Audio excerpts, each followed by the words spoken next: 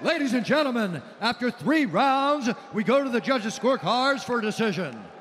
The judges score the contest 30 27, 30 27, and 29 28 for the winner by unanimous decision, Robert the Reaper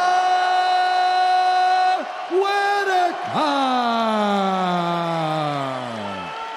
I'm sorry to let all the Italian fans down. Scusatemi ragazzi, è veramente un avversario di livello, mi scuso. Grazie per essere venuti. Vi voglio bene, bene a tutti, dal primo all'ultimo. Ho fatto un po' di casino anche se ho perso, dai.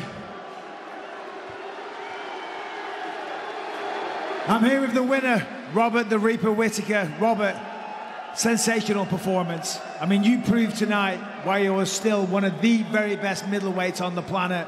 I'm assuming you're pretty happy with that. Robert, tu dois être très content de ta performance, performance exceptionnelle. Tu as prouvé ce soir que tu es encore un des meilleurs middleweight au monde. Uh, yeah, I um, I'm stoked with it. It's uh, it was a, I, all the respect to Vettori. That's why I had to push back the fight the first time because you needed the fitness to be able to hurt him the whole time. He did not go away. I was hurting him. Trust me, I hit pretty hard. I know I go to a lot of decisions, but I hit pretty hard, and you know, credit to him. Oui, euh, particulièrement, mais félicitations aussi à Vettori parce qu'il est très difficile à battre. Il m'a frappé très dur dans le premier round, mais j'ai réussi à revenir et même moi j'ai réussi à mettre des coups assez durs, même si c'était pas, ça semblait pas le cas tout de suite.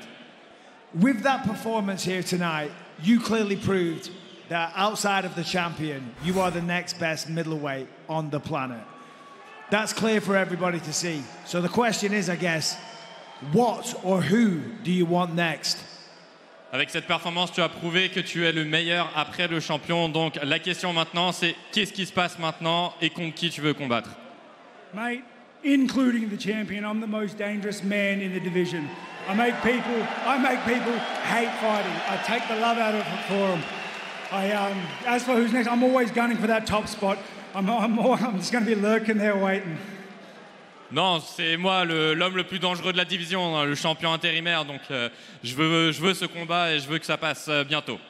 Robert, always an absolute honor and a pleasure, to call your fights. Maximum respect. Your winner, ladies and gentlemen, Robert the Reaper Whittaker.